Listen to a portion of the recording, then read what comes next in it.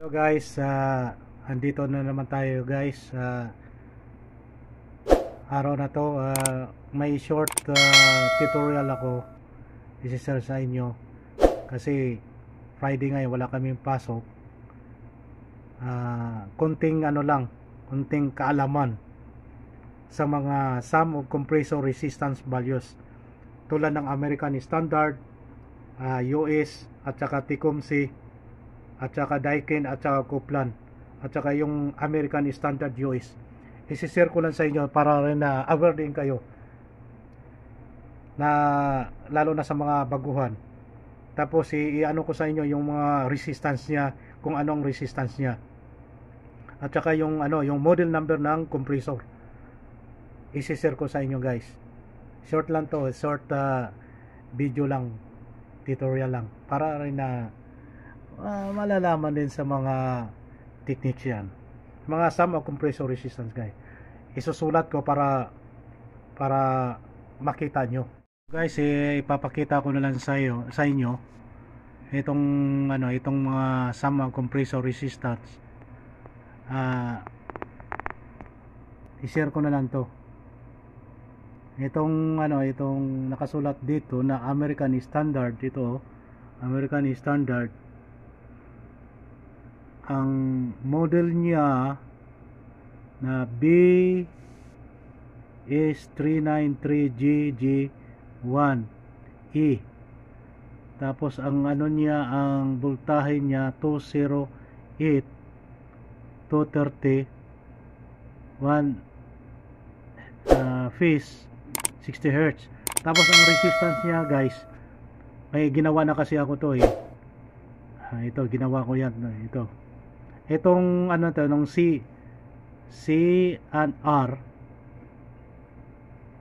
ang resistance niya guys 0.6 tapos ang medium niya C C is at uh, at saka ang resistance niya 2.5 tapos high resistance niya is at saka R 3. ohms yan ang ano niya, yung compressor na American Standard US guys.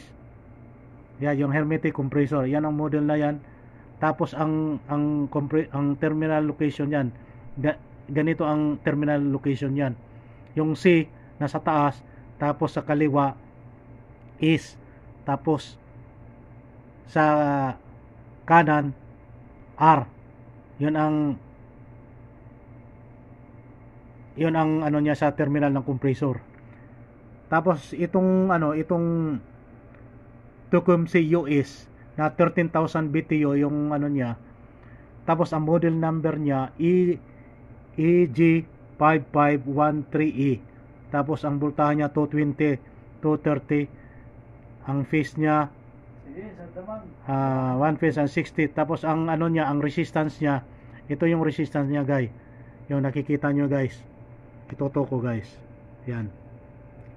Yan ang ano yan yung model na EZ5513E ito yung makukuha yan guys. Yung resistance na yan guys.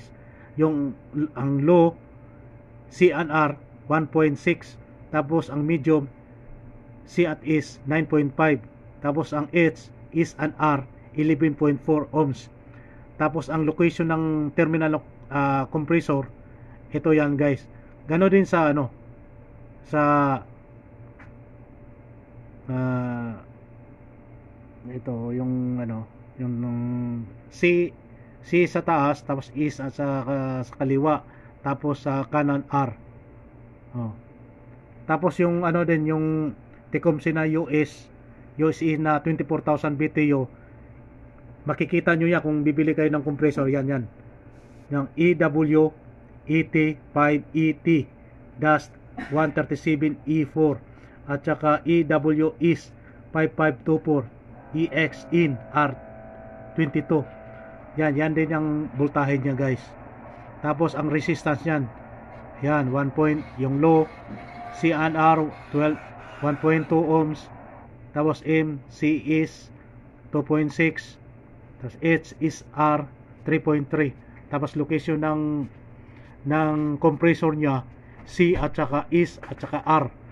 Lagay niya sa taas ang ah, common, starting at saka ah, running. So, sa Tecumseh pa rin, na 19,000 BTU, ang model number niya E Z5519E. Tapos ah, 220 to 230 ang phase niya 1 uh, 1 and 60 hertz. Ay ganito din yung ano niya, yung resistance niyo makukuha guys. Yan. Dahil naano ko na to eh. Yung L niya, yung low CNR 1.0 medium C C at S uh, uh, 5.9 ohms H high, high resistance is is an R 6.9 tapos ang location naman ng ano na terminal yan ganun pa rin. So dito ta sa da- Daikin guys.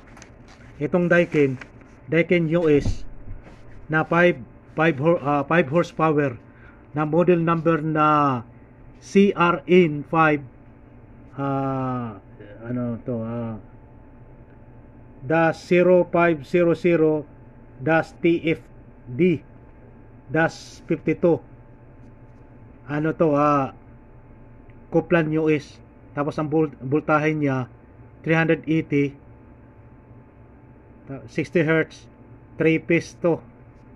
Itong compressor na to 5 tonner tapos ang makukuha nyo ng resistance yan nandyan din yan.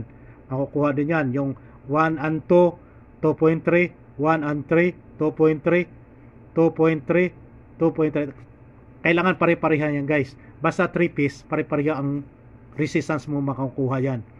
Tapos ang ang ang location ng ano niya location ng ng terminal.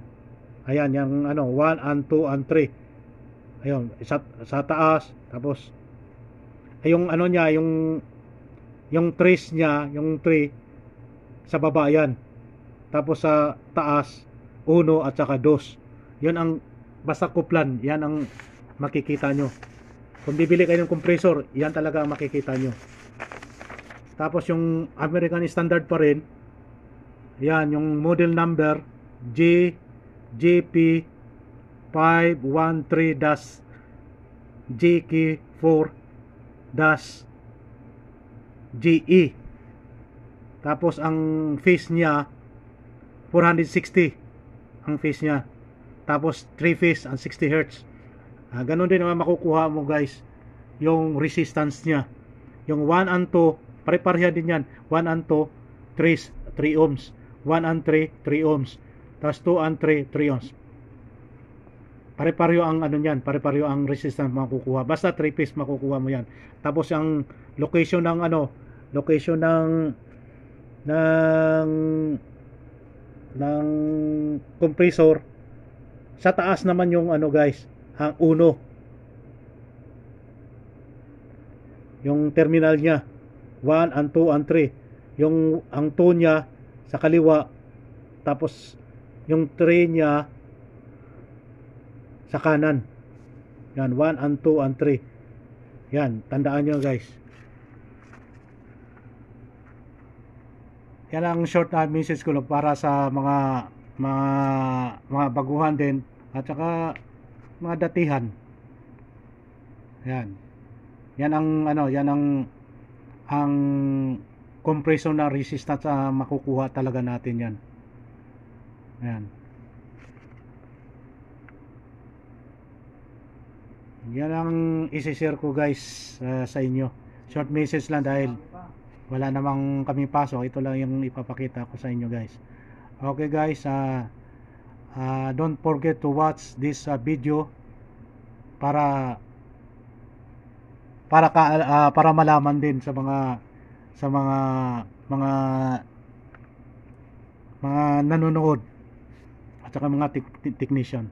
Okay guys, thank you so much and uh, uh, shout out pala kay RDN TV okay guys uh, don't forget to watch my my YouTube uh, channel uh, Lunjaon TV and don't forget pindutin ang notification bell, para updated kayo sa sunod kong video guys. Okay guys. Thank you so much and masalam